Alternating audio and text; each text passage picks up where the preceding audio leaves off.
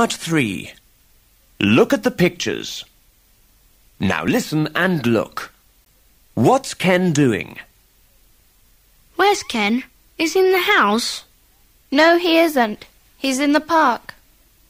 What's he doing? Is he flying a kite? No, he isn't. He's riding his bike. Now listen and tick the box. 1. What's Tim doing? Is Tim in the kitchen?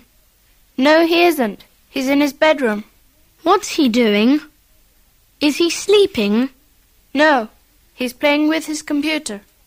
Playing with his computer? That's right. 2. What does Sheila like doing? Is Sheila playing in her bedroom? No, she's in the garden. What's she doing? Is she playing tennis? No, she isn't. She doesn't like tennis. She's painting.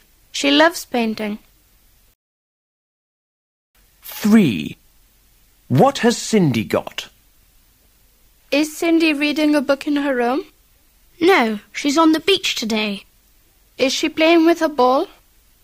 No, she's eating an ice cream. 4. Which boy is Simon? Is Simon wearing a t-shirt? Yes, he's wearing a white t-shirt.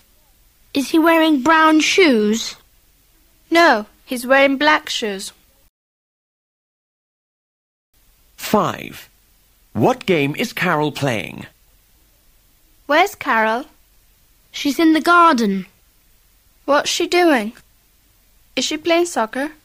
No, she's playing hockey. That is the end of part 3.